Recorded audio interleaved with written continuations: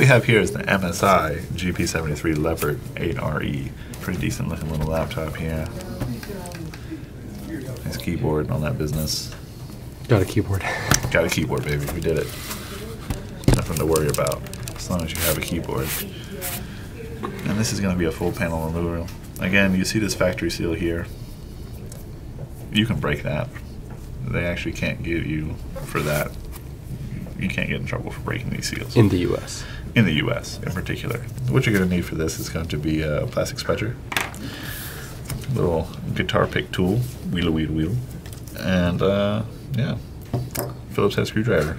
And we've got what appears to be two, four, six, eight, ten, eleven. And we'll see if they're all the same size as we go along here. Try not to lose a screw this time. Wow. Jeez. All right.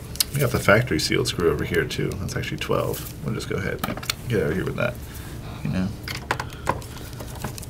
So at the moment, as far as I understand, I think it's FTC or whatever is kind of cracking down on companies that are doing this whole seal thing that makes it seem like, you know, you're not legally allowed to open your laptop without voiding your warranty and all this other stuff like that essentially in the U.S., you have a right to repair. Well, it's always been like that, right? But no one's really done anything about it. It's been one of these like unfair practices where they've been able to claim this forever, and really every company is guilty of it, right? I mean, it's it runs rampant in the electronic industry, and it makes sense. I mean, you don't really want somebody who doesn't know what they're doing to, to get into your product, because chances are, you know, they will break something. Basically, all it all it boils down to is you do have a right to repair. So technically, breaking these seals cannot void your warranty in the U.S. Correct me if I'm wrong. I'm sure somebody will. Then take your guitar pick. I'm gonna take the guitar pick. Start working our way around here.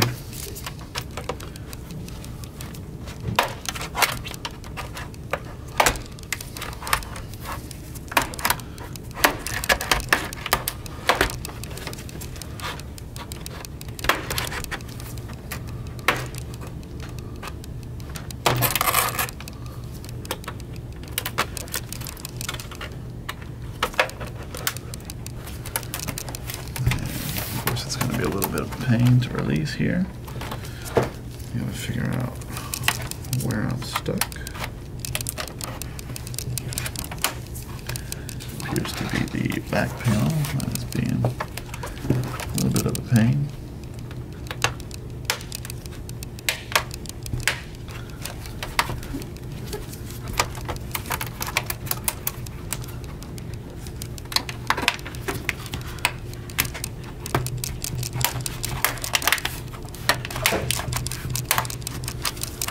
along and there we go. So this is a little crazy looking.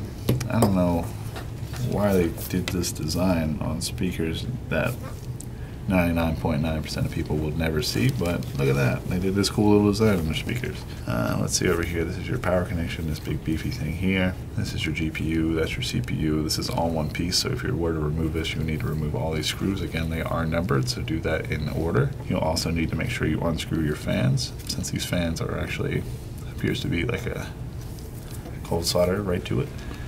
Better heat transfer. And of course, you've got your two and a half inch appears to be a super thick guy, so 9.5 inch. And you've got your Millimeter. Oh yeah, sorry, millimeter inches. That would be absolutely gigantic, wouldn't it?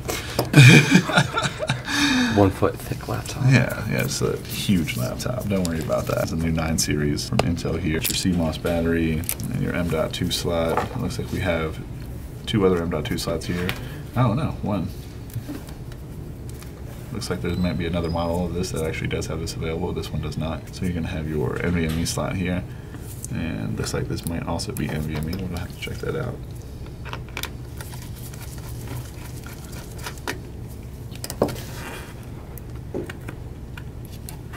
Now it's got little heat pads on the bottom.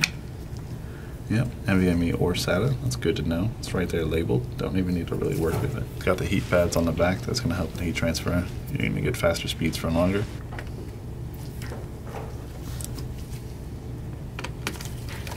Yeah, and And we've got this other NVMe right here, so it's a possibility that you might be able to RAID NVMEs in the system. We'll have to test that at some point.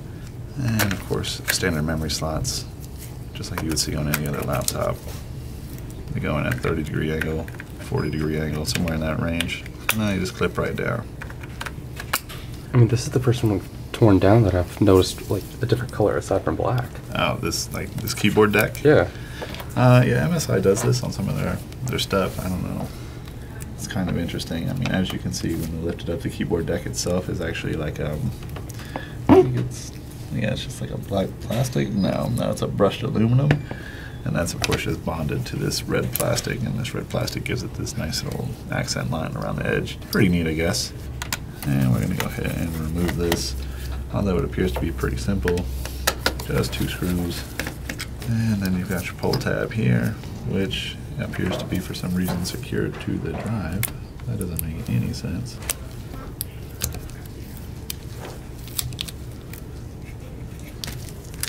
And we did it. As you can see, here's this 9.5 millimeter drive, not the one that's almost a foot, which I mentioned earlier. And pretty simple, just goes right back in. Two screws again to secure it. Screws are the same size, you don't need to worry about anything as far as that's concerned.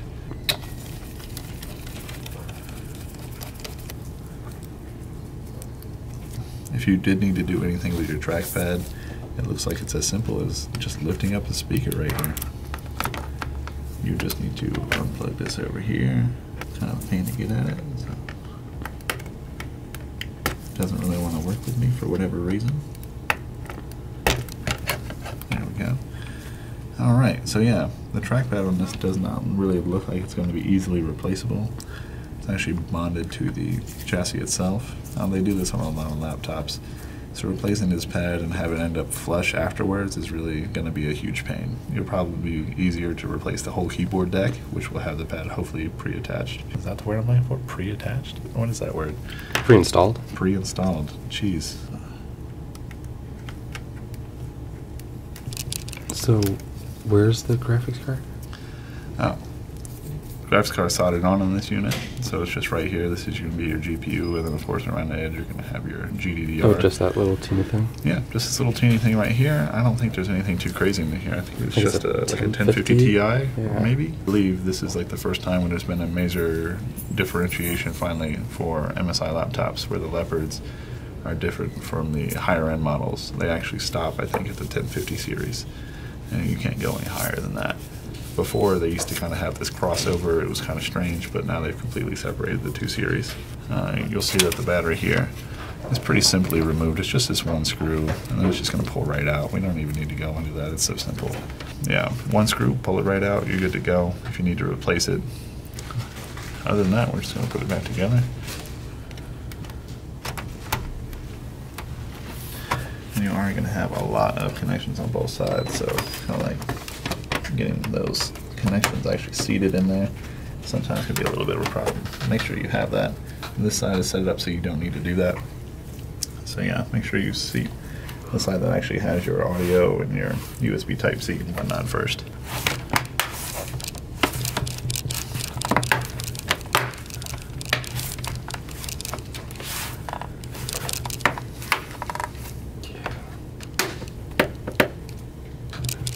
And once we get the screws in, then we'll tighten everything up as well. Good thing to note here, again, MSI being a hero and having the same size screw for everything. Don't need to worry about anything, just screw everything back in.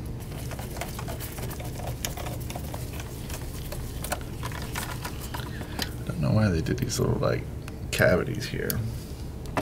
I guess that would actually be stronger than what they would normally do. Some sort of like molded plastic peg that would go down. Alright, getting more clips. Let's do that.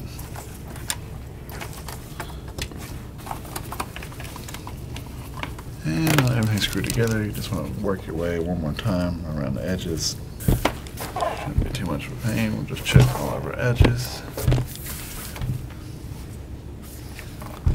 There go. There's one more that's didn't quite secure.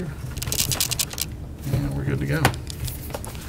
Off to the races. Again, this is the MSI GP73 Leopard 8RE.